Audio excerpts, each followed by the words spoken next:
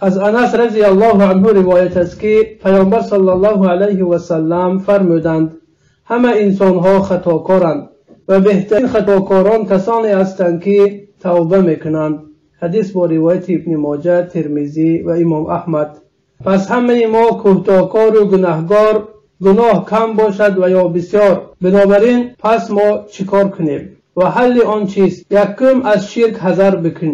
Ва ҳам аз василаҳое ки туро ба ширк мебарад.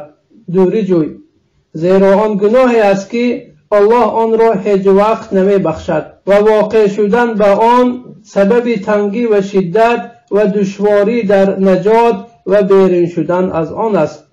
Аллоҳ субҳанаҳу ва таоло фармуд ба дурустӣ аллоҳ онеро ки барои ӯ шарик муқаррар кунад намеомӯрзад ва ғайри он ҳар киро хоҳад меомирзад ва ҳар кӣ барои оллоҳ шарик муқаррар кунад ҳамоно ба гуноҳи бузург дучор шудааст.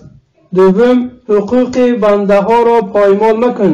Тамоман аз гуноҳе ки ба мардум дахл дорад дур бош. Гуноҳе ки дар хун мол ва шаъну шарафи онҳо аст. Бинобар ин мегӯянд ки аллоҳ таоло ин гуноҳонро фаромӯш намекунад магар ин ки онҳоро аз шахси золим ба таври қасос гирифта мешавад. Ва ё бо авфу бахшиш аз тарафи мазлум бахшида мешавад. Севум ҳамеша гуноҳони худро эътироф бикун ва аз он гуноҳҳо пишаймон бишав ва амалҳои неку савобро бештар бикун. Аллоҳ субҳанаҳу ва таоло фармуд амали некро бо амали дигар ки ба даст омехтанд наздик аст ки аллоҳ ба раҳмати худ ба онҳо бозгардад ба дурустӣ ки аллоҳ таоло омӯрзандаи меҳрубон аст.